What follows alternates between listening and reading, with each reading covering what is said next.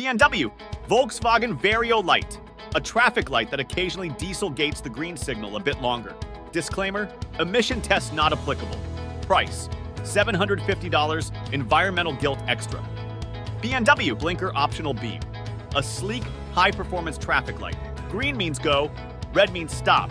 And for BMW drivers, all lights are optional. Price $1,000, turn signals not working.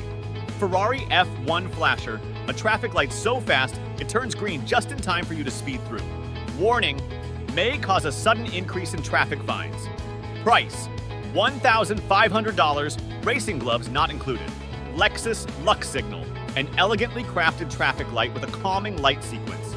Soothing spa music plays during red lights for peak relaxation.